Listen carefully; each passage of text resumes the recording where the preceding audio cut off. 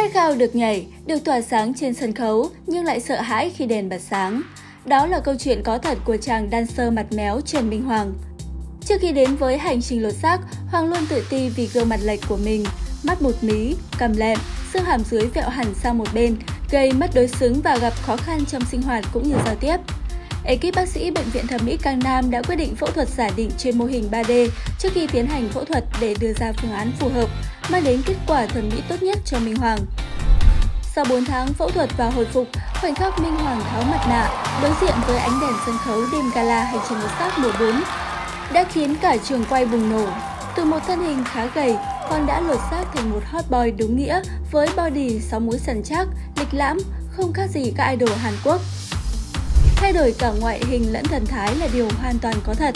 Sau 3 năm bước ra khỏi cánh cửa hành trình lột xác, chàng dancer rụt rè ngày nào đã không còn e ngại ánh đèn sân khấu nữa, mà thay vào đó là sự tự tin, cá tính trong từng bước nhảy.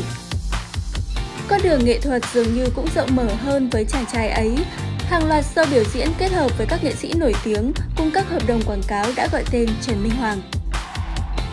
Xin chào mọi người, mình là Trần Minh Hoàng, là thí sinh hành trình lột xác 14 à, Vì thời gian qua dịch nên mình bị hoãn tất cả các việc lại. Vì vậy mình có nhiều thời gian hơn cho gia đình. Mình thường hay xem phim, nghe nhạc, chơi game, tập luyện thể dục thể thao để nâng cao sức khỏe, cải thiện bản thân. Đó là những gì mình làm trong thời gian mùa dịch, còn các bạn thì sao? Hẹn gặp lại các bạn vào đêm gala 5 năm hành trình đầu sát nhé.